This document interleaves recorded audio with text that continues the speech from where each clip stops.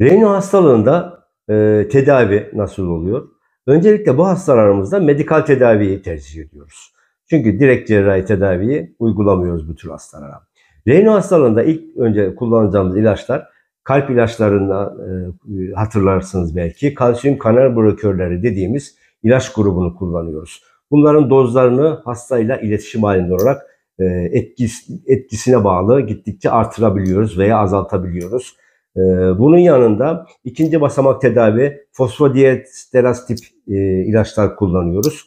E, bunları ikinci e, seçenek olarak kullanıyoruz. Reyno hastalığının cerrahi tedavisinde ise daha evvelden el terlemesinde kullandığımız ETS yöntemini Reyno hastalığında tedavi yöntemi olarak kullanıyoruz. Genel anestezi altında veya derin sedasyonlu e, lokal anestezi altında sempatik sistemi e, T3 T4 sempatik zinciri iptal ederek Reyno hastalığındaki oradaki damarın vazokonstrüksiyonu daralmasını gideriyoruz.